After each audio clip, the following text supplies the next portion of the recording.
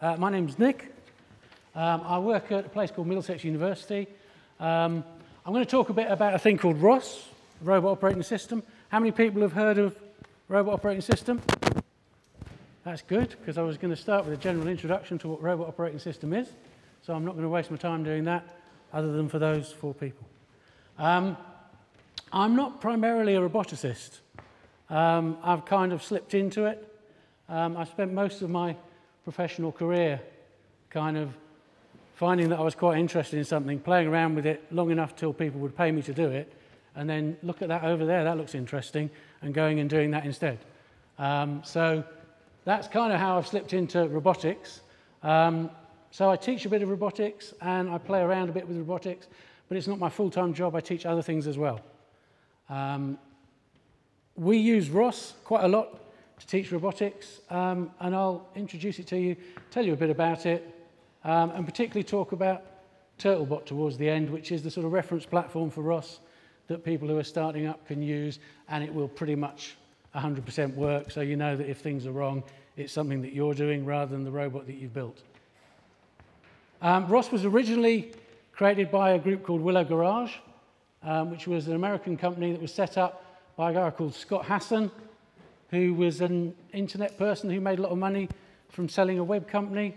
I can't remember which one. Um, but he decided that robots were probably going to be one of the next big things. But what he was interested in was robots that actually did stuff in a commercial space, potentially in a residential space, rather than robots that worked in a factory. Um, and he was interested in building sort of commercial applications that you could sell robots doing, um, which usually at that point people stopped calling them robots.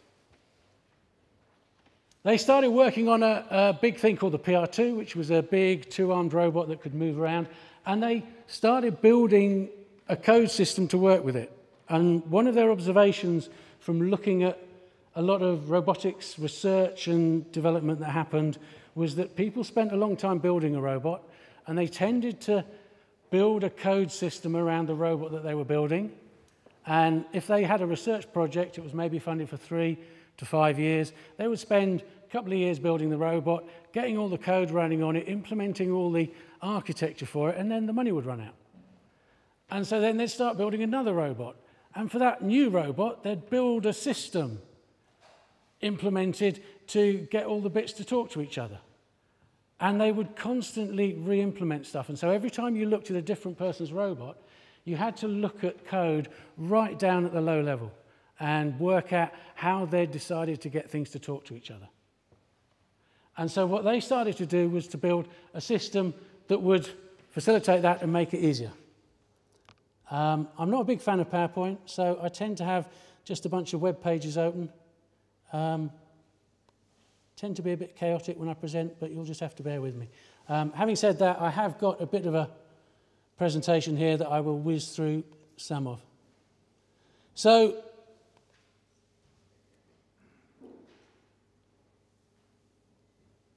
what is ROS, or Robot Operating System?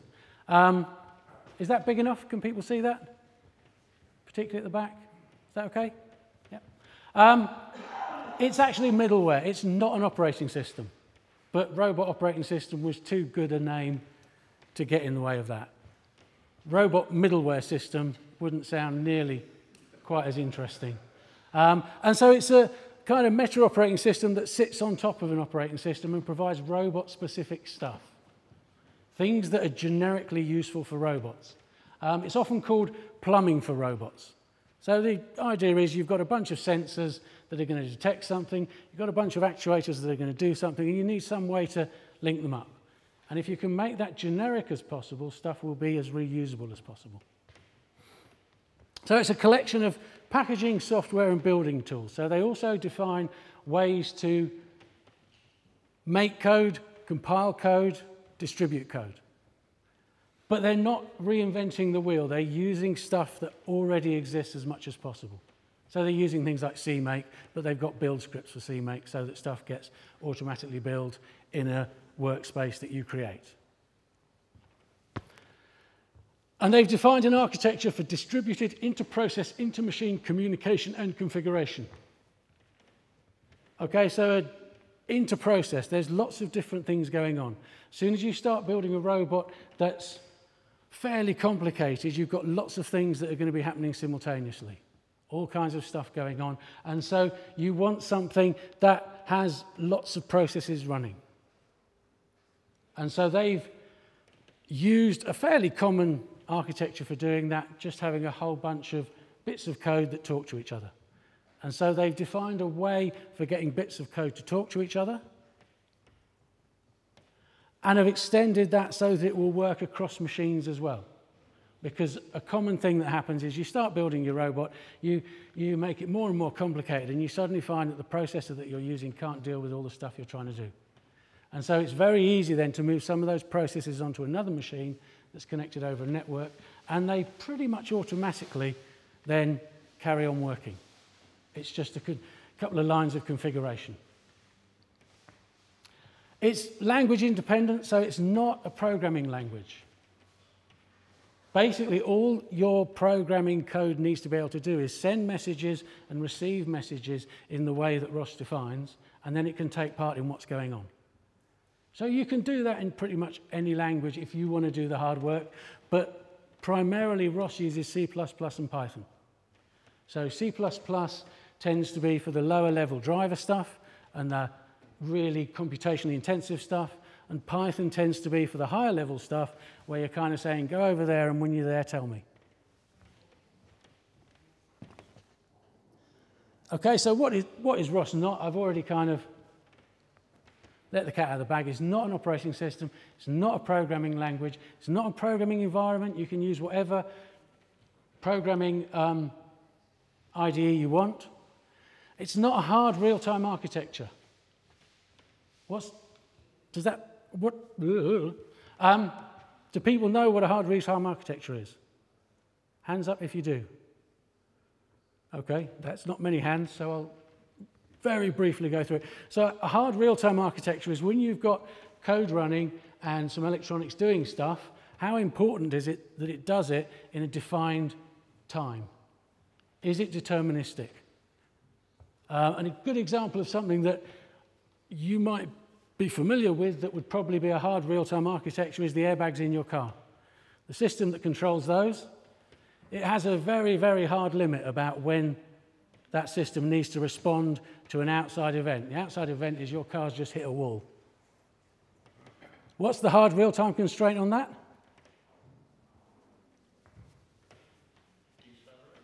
Sorry? D what? I, I've got a much, much simpler metric that I test it by. Has my head hit the steering wheel yet? If my head has hit the steering wheel, then this hard real-time architecture has failed. And it's a hard real-time architecture because failure of it is catastrophic. It means that the system didn't work at all, not just that the system was impaired. And in fact, the test for that isn't your head hitting the steering wheel because if, if just as your head gets to the steering wheel, the airbag goes off, what does it do? It then gives you whiplash. So the real constraint is your head getting about halfway to the steering wheel, at which point you want the bag to have inflated. So ROS can't do those kind of things because it's this distributed inter-process communication system. And particularly once you then started floating that off onto separate machines, you can't make any hard promises about how quickly things will happen.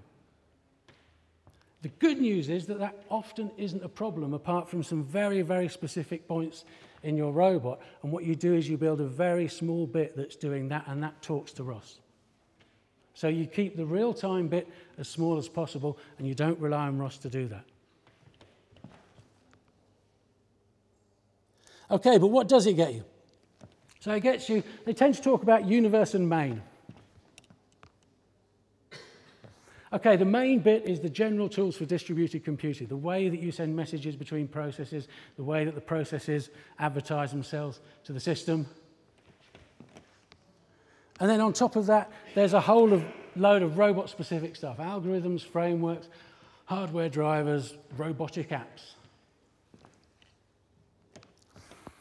The general tools for distributed computing, they're maintained by, well, they were maintained by Willow Garage. Willow Garage doesn't exist anymore. They closed it down and moved on to other things, and they set up a thing called the Open Source Robotics Foundation, who continue to maintain it. Um, and they look after that small group of tools, and they deliberately keep the main bit of ROS as small as possible. And the universe is done by pretty much anyone who's interested in doing stuff.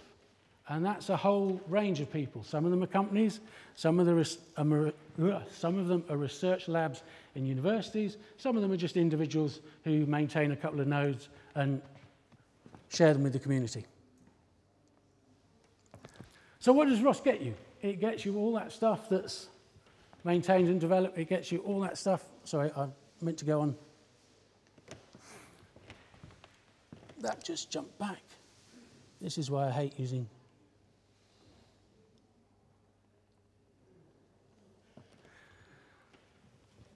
So the OSRF maintain the packaging and build tools, the communication infrastructure, the ROS API and language bindings, and the introspection tools. The introspection tools are a really, really useful bit because the natural state of a robot is what?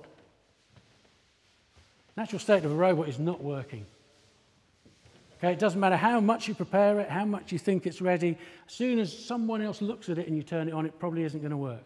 And so finding out why it isn't working and fixing it is a really, really useful thing. And ROS has a lot of tools that enable you to look at what's going on while the robot is still functioning. So you don't close it down and then try and pick it apart. You can interrogate the system while it's running.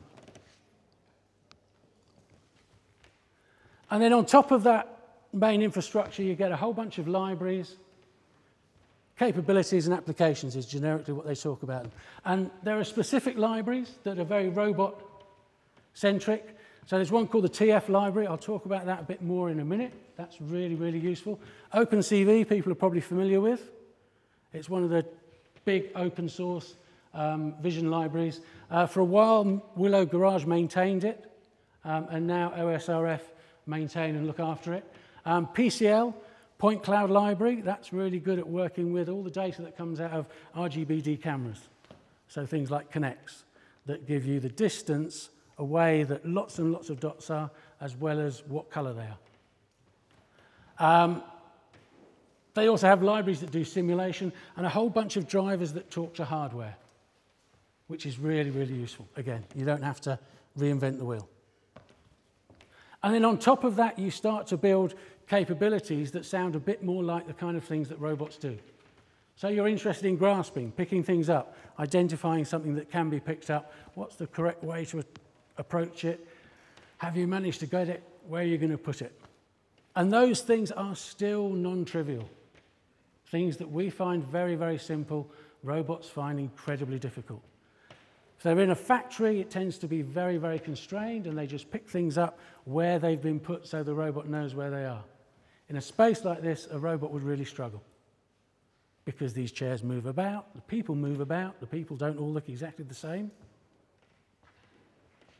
And so we're still struggling with that very, very top thing applications.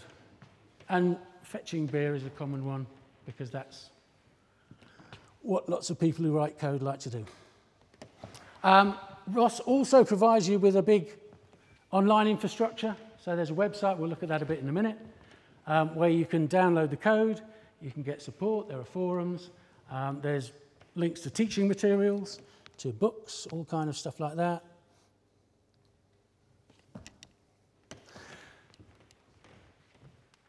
So when we talk about the communication, communication infrastructure, in ROS we talk about ROS Core, and you run a process called ROS Core. That launches a thing called ROS Master. And ROS Master keeps track of what processes have been launched, how they communicate, and what information they're in, interested in receiving. Does that using a centralized XML RP server, RPC server, and it puts nodes in touch with each other. So when we talk about a bit of code that's running that can communicate, we talk about nodes, and they will try and talk to other nodes. And the ROS master keeps track of which nodes are probably interested in talking to each other and putting them in touch with each other. There's a parameter server, which in effect is global variables for all those nodes so that they can look at a single bit of data that's usually about the robot itself. And ROS out, which is a network-based standard out, to send human readable messages so the robot can tell you things that are going on.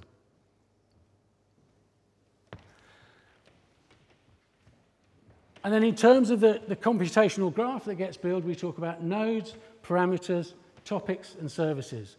Nodes are processes, so they're a bit of code. Could be written in Python, could be written in C++, could be written in other things. And they produce or consume data. They could do one, they could do both. If they do neither, then they're not part of the ROS infrastructure. So they won't have any kind of impact on what's going on. In order to communicate, they use topics. Topics are asynchronous many-to-many -many communication streams that happen in one direction. So you either publish or subscribe to a topic. You can have multiple publishers, multiple subscribers. And it's asynchronous, so something can start publishing stuff without there necessarily being a subscriber that's listening to it. Something can subscribe to a topic and there isn't necessarily something publishing to it. And that's really useful because it means you can bring stuff up in incrementally and you can launch bits to test them without having to launch everything at once. And then services are built on top of topics, which is something where you might ask a question and want a reply. And so it ties two topics together so that you publish something on a topic and you get an answer back on another topic. Some of the introspection tools, while it's running, you can ask it to draw you a graph of things and how they're connected so that you can check that things are going as you expect. Once you get to the point where you're launching lots of these nodes, it becomes a pain to launch one after another, so you can create a thing called a launch file, which is a list of these nodes and how you want them to configure to each other.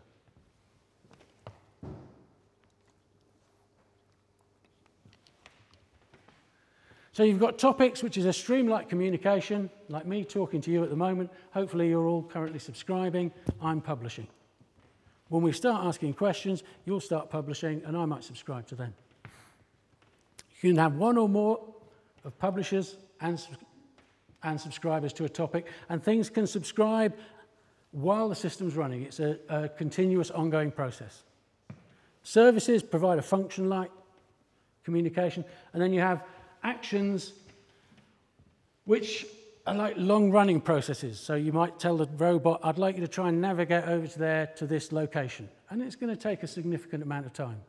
So you don't want to block in code and wait for the reply to that. You want to sort of regularly check and say, how are you doing? And an action provides that. So it's like a service that isn't going to reply very soon. And so you probably want to go away and do something else while it's doing stuff. ROSmaster coordinates all this. So we've got two nodes here, one called camera, one called viewer. When camera launches, it advertises itself to ROSmaster and says, I'm going to publish on a topic called images. It's going to be a stream of images that come from the camera. So ROS adds that to its list of topics that exist on the system and makes a note of that's a node that publishes that topic.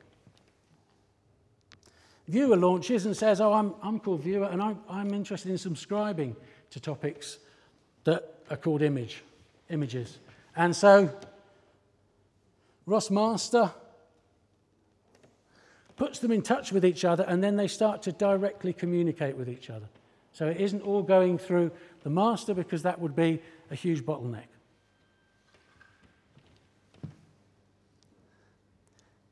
Images start going over, they get to viewer. Another node gets launched and it says, I'm interested in images as well, actually. And so it gets them too.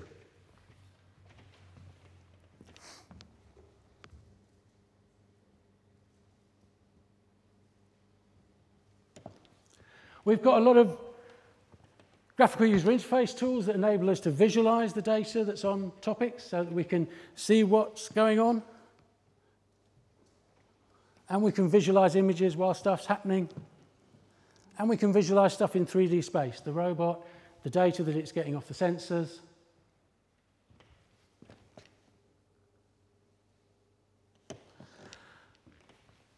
ROS is sent out in distributions similar to Ubuntu. And Ubuntu is the main operating system that it exists for at the moment. Um, there's some experimental work about getting Windows running on it, but mostly that's just been to get a particular sensor to publish data into ROS. They haven't implemented anything like the range of stuff that exists under Ubuntu, primarily because most of the build stuff is stuff that works in Linux. Won't talk too much about actions for now. I'll talk a little bit about coordinate frames. So, mention a library called TF. That's a library that works out trans transform frames.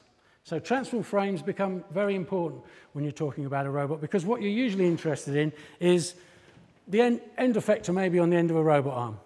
And we're interested in the position that that is and the orientation of it. Where is it pointing? And we're usually interested in that in relation to something else. So if a robot's got two hands, it's interested in where this hand is in relation to that because it may want to grasp something. What the transform frame library gives you is the ability to just say, I'm interested in this hand and that hand. Can you tell me how far apart they are? And the transform frame library will go, yes, at the moment, they're this far apart. Okay, can you tell me how far this hand is from that top right shoulder? And it'll go, yeah, they're this far apart. And the way that it does it is that you need to have a description of the robot. And a robot is described as consisting of links and joints. So it, if I describe my arm in terms of links and joints, the links are the bits that potentially can move. Sorry, no, the joints are the bits that can potentially move, and the links are the bits between them that are fixed. A joint might not move, it might just be where somewhere's connected. So you can describe a fixed joint. You can describe a joint that rotates in one plane, a joint that rotates in two planes, or a prismatic joint that slides in a linear fashion. Once you've described your robot in this way and you've put that onto the parameter server for ROS so that the whole system can see it, the transform frame library can then use that to calculate where things are. In order to do that, it needs to know things like what angle is the joint currently at?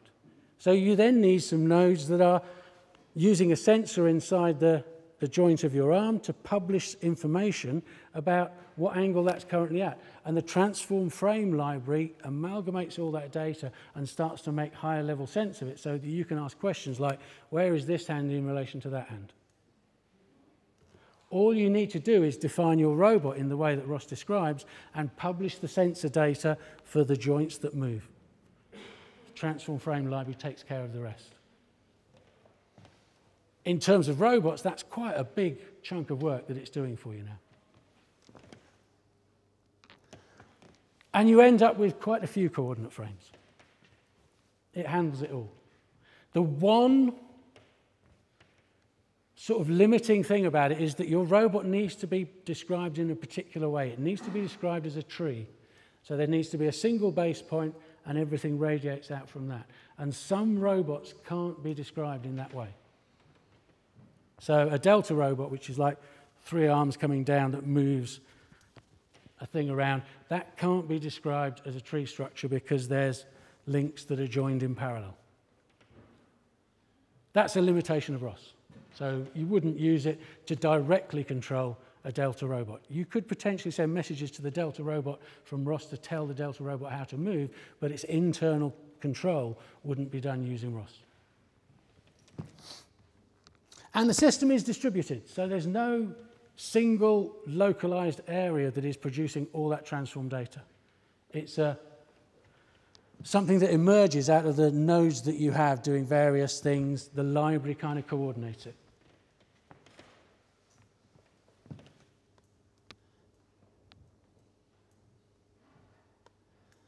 That's probably enough of that, and it's kind of run out. So ROS has been around for about 10 years. Um, this website tries to keep up to date with robots that currently work with ROS.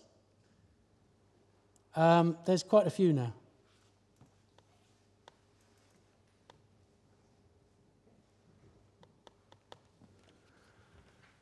Each of those robots will have a different sort of level of integration with ROS. So some of them will use ROS right at their fairly base level to control the robot. Some of them may just have an interface that allows their robots to receive messages from ROS, and then internally they're running their robot however they want.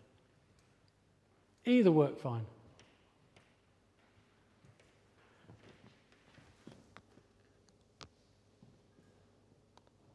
Transfer frames. So they produced a robot that was the sort of reference platform for ROS.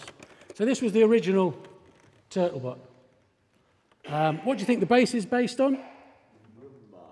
Yeah, it kind of looks Roomba It's, a, it's the base of a, of a robot vacuum cleaner, but without the vacuum cleaner bit. It's got an ST32 inside there. It's got motors, it's got batteries, it's got a charging unit, and it's got various voltages coming out that are handy to plug things into. Originally, it was designed to have a laptop put in here because eight, nine years ago when these first came out, running it using a single board computer was quite hard. So you shoved a laptop in there. And originally it had a Kinect-On, which is an RGBD camera, red, green, blue, and depth. This would look out into the room and produce data about where things were, or data about distances to things. Then trying to work out what they are is potentially a very complicated. The description of the robot frame tells it where this camera is, so the distance data from here, it can then relate to other parts of the robot. Disadvantage of this, it was just over £1,000 to buy.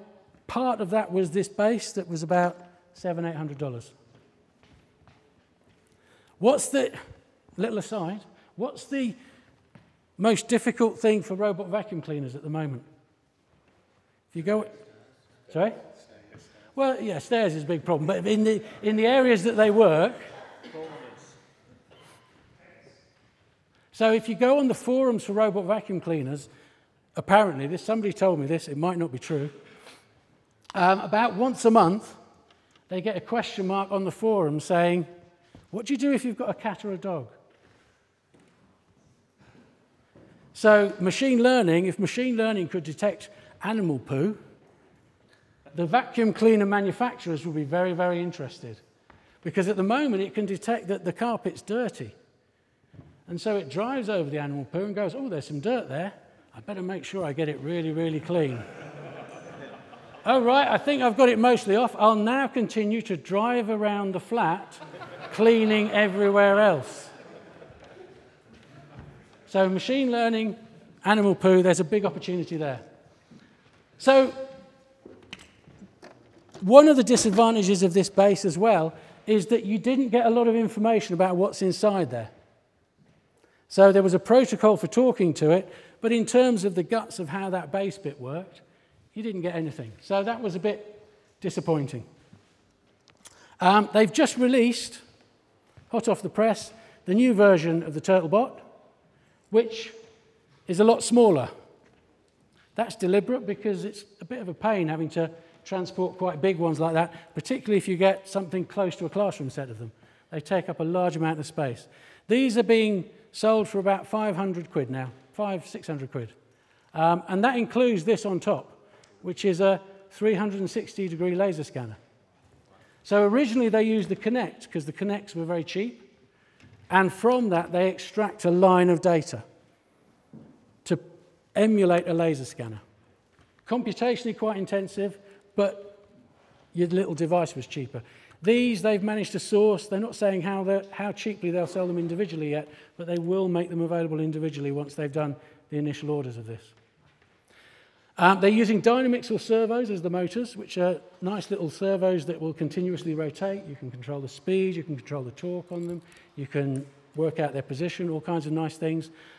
And they've produced their own board for interfacing between the computer and the motors and they've released all the details for it. They actually released all the details before they shipped the boards, which is unusual.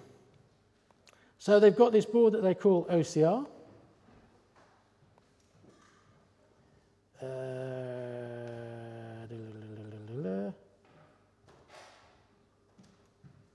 OpenCR.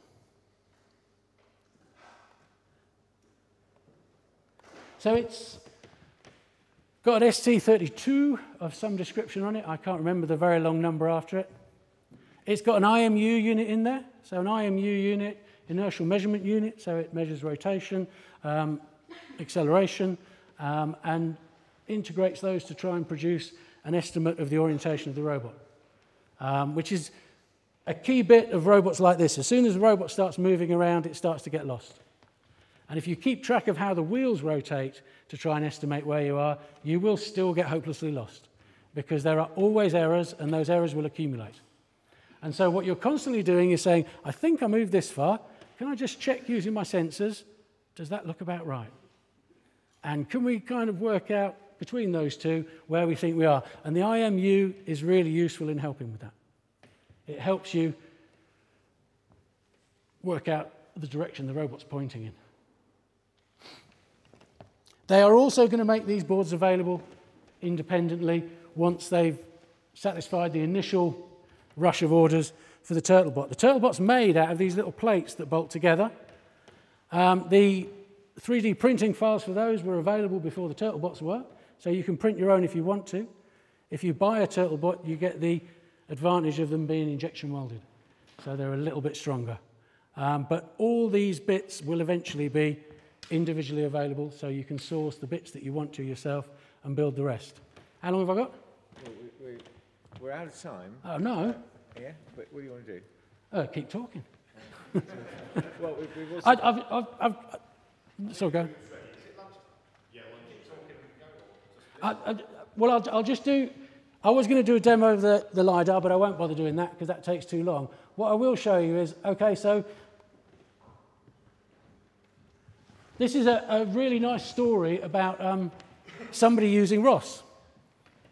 Okay, so this is a farmer in America who was on, he was trying to use the Navio to drive his tractor around. He was getting a bit stuck, and they said, oh, well, come, go and talk to people on the ROS forum. So on the ROS forum, started talking to him about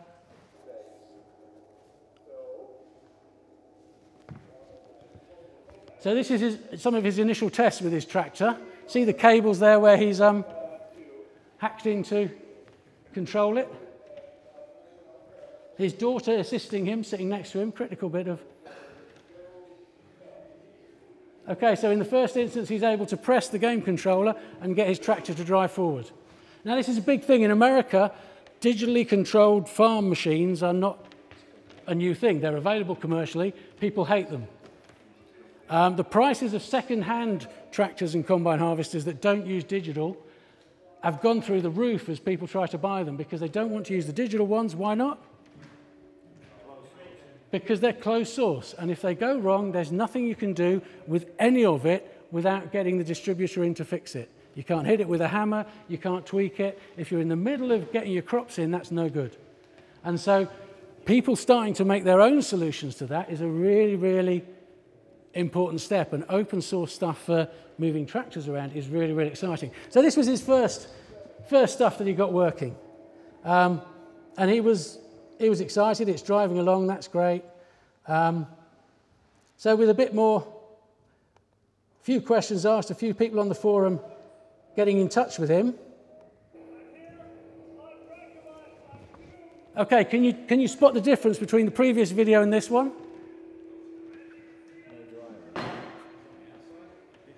There's no driver. He's sitting on the mudguard of the tractor outside filming it.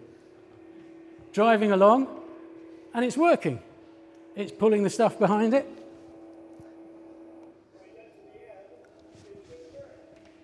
Okay, so he's, he's approaching a ditch which his grandfather crashed a combine harvester into many years ago. He's still sitting on the mudguard.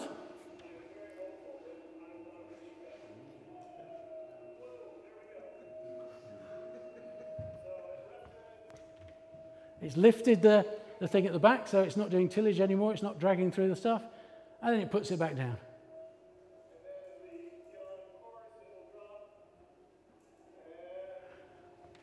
Okay, he's not happy with the fact that it's not going in a very straight line. What he needs to implement is things like PID control and an IMU unit. So he starts implementing those with help from people on the forum. And then he adds a, an e-stop using a feather, an Adafruit feather, so that if he isn't on the tractor, he can stop it. He's got three tractors now that he's set up to do this. Various questions going all the way through. Um, and he, he talks about he likes boring tractors. He likes boring robots because he just needs them to work. So there's the IMU, there's the PID working. And then right at the end here, right at the end, there's this thing. So I slogged through planting all of the corn, 535 acres, planted the soybeans manually, and then barely prepped for the AgBot Challenge. So the AgBot Challenge is university research departments, various commercial companies, going to a field and showing what their, what their robot tractors do, and he won it as an individual entering from his own farm. So that's the power of open source and stuff like ROS. I'll stop at that point then so that people can have some food.